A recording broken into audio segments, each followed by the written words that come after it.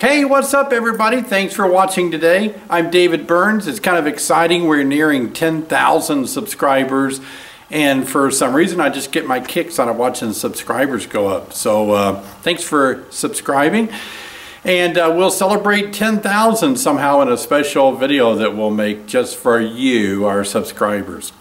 Well, look, we just got over our package bee weekend. It was not bad. It was rainy, of course, a little cool outside, but it's good to install bees that way.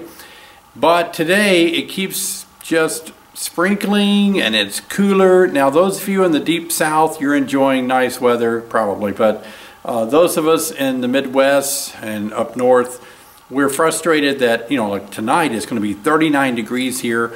Uh, I installed a handful of packages and I have some splits out there that I've made and some of you have seen me make those splits. Unfortunately, uh, they've not been able to fly the last few days because of the cooler weather and the rainy weather.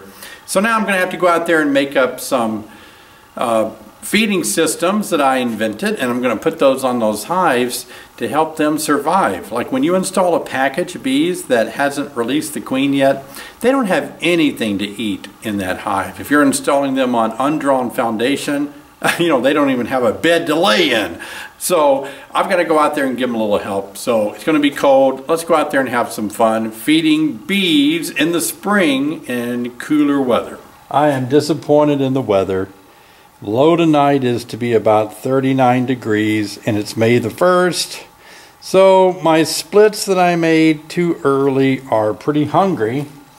They haven't been able to forage the last few days due to cooler weather and the rain. And I know if you're living up in the central U.S., north U.S., northern part of the U.S., you're experiencing this unfortunate weather event for honeybees. So I'm taking some pollen patties and just getting things ready for the splits. And I've also thrown a few packages out there, a handful of packages. And they don't have any food at all. And they can't fly in and go foraging because of the cold weather.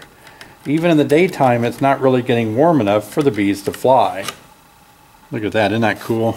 How it kind of chops that up so the bees can eat it really nicely.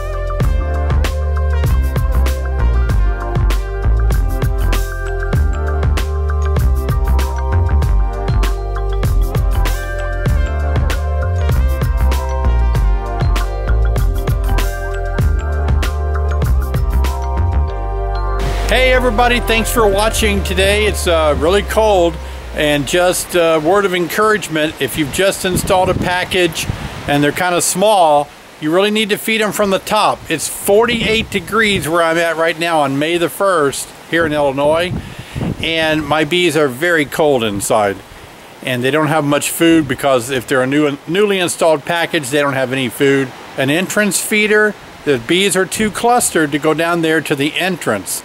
So you need to feed them from the top.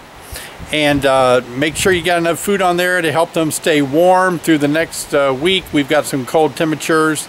Uh, if it's cold and you're watching this video sometime in the future, just remember that anytime in April or May in the Midwest and the North, things can get pretty cold at night uh, into May sometimes. So take the necessary precautions to keep your bees healthy.